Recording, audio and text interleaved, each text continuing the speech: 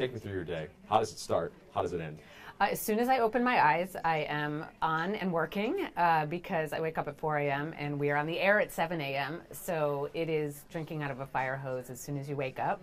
Um, I'm at home for the first hour trying to get ready, look presentable for the day while also reading scripts, going through the news that happened overnight, making sure that Hoda and Savannah are all set with what they need for the morning. They've got big interviews coming up, usually every morning, we hope um, and just making sure to check in with them. So that all happens in a really condensed period of time as soon as I wake up. Then we put the show on the air from 7 to 9. Hopefully, everybody is watching out there. And um, after that, we then go into planning for the next day. And we just keep going and going and going. Do you feel like you're never off that treadmill? Like you're always on? You know, yes, but also you have to kind of carve out some time for yourself, or you can't be good at what you do, and I think I'm sure you feel that way too. But um, we're always working on the show, always trying to bring the best new ideas, book good interviews.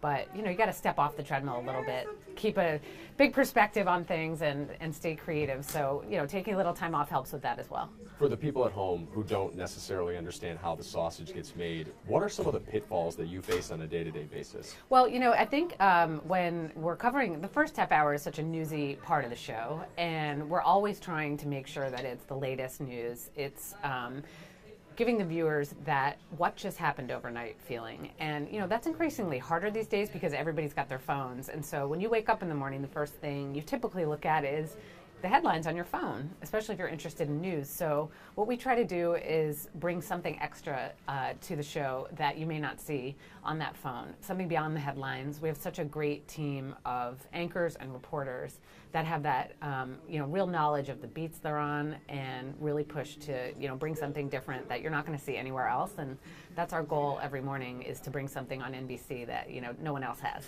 When you leave for the day, and you have a rundown in place. How different is that rundown when you come to work the next morning? It's always different, and that's what you want. I never want to leave at 2 o'clock and have a rundown that stays the same the next morning because that means we haven't adapted. That means we haven't changed the show. The world is moving so fast, and I love waking up and having three or four news stories. It makes a little stressful, but you know we want we want the show to be a reflection of the very up to the very moment. Um, so that two o'clock rundown meeting that we have, I hope nothing sticks there.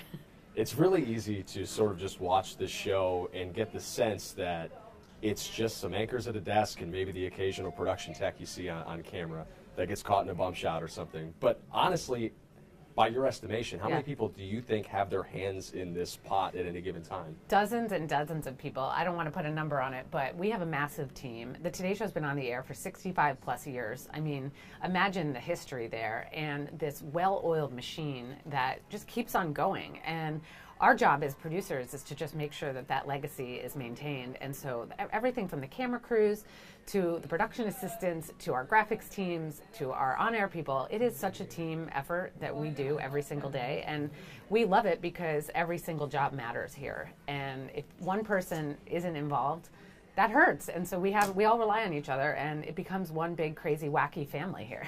What's the favorite part of your job?